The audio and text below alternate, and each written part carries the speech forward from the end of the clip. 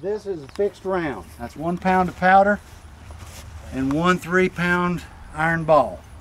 This made loading a little bit faster. However, you were limited on what you can hit with that one single round. If you're against infantry, Tories, or Indians, you want something that has a better kill ratio. Does this remember, what does this resemble to you? Grape shot. Cluster of grapes. That's why it's called grape shot. It consists of one inch iron bar, and what it does, it makes the gun into a huge shotgun. This is canister. We use leather because leather is easier to come by on the frontier than metal. It's filled with one inch iron ball and 75 caliber musket ball. This again makes the gun a huge shotgun and it will literally cut down anything in front of it. So at 100 yards, you would use either one of these, the canister or the grape, and at 50 yards, you would double this. And this would cut down literally everything in front. Now, if you have a hearing aid, I would recommend you turn it down at this point.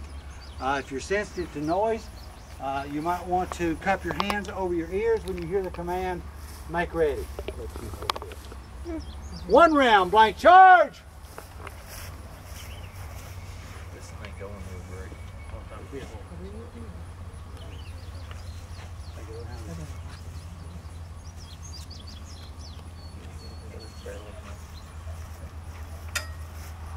And the cartridge can vent.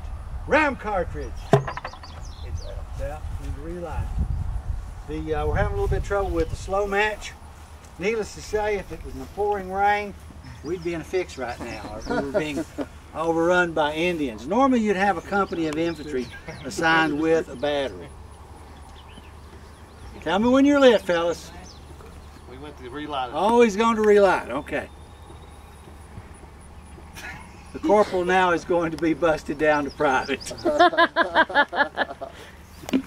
Forging this one. Is he forging us one? Here you Here go. he goes. like the Olympic torch. Here you go. Well done, private. Okay, are we ready, gentlemen? Ready, Sergeant? Make prime. Make ready. Bombardier, There. are you ready? We're ready. Make ready. Fire. Whoa, cool. Advance sponge. To invent. Sponge. From the left to the right. Yes. Huzzah. Huzzah.